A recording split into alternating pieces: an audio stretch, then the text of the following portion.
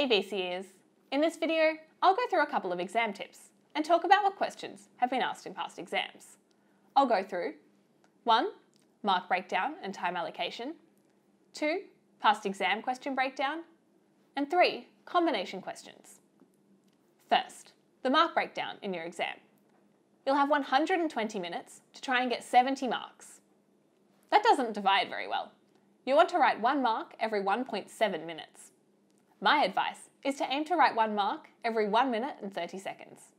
At a stretch, you can add an extra 10 seconds for each mark. Never go over 1 minute and 40 seconds per mark until you get close to the end of the exam.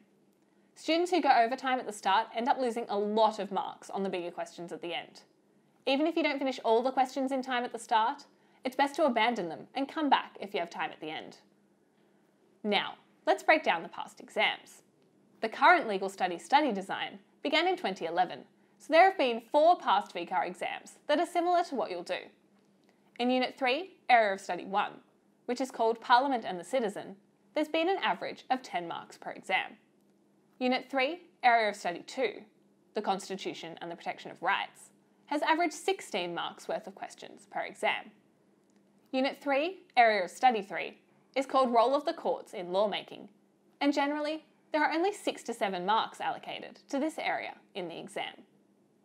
As for Unit 4 content, Area of Study 1, Dispute Resolution Methods, averaged 13 marks per exam, and Area of Study 2, Court Processes and Procedures, and Engaging in Justice, averaged 19 marks per exam. While the longer 7 to 10 mark questions come from across all areas of study, they are most often come from Unit 4, Area of Study 2. Another thing to note, increasingly, and especially in the 2014 exam, there have been what I call combination questions, where students are asked to discuss two different areas of study in the one question. This is the one thing your SACs might not prepare you for, and they're really hard to revise for. My advice is that you must do the 2014 VCAA exam as one of your practice exams, and read through the examiner's report when you're done. You need to learn by doing. Finally, the inevitable question. Should you revise more for one area of study or topic because it comes up more often in exams? Or should you revise more for areas where questions come up less often, assuming that those are the questions that will be asked this year?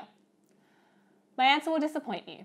You need to study equally across the legal studies course, because literally anything in the study design could come up in the exam.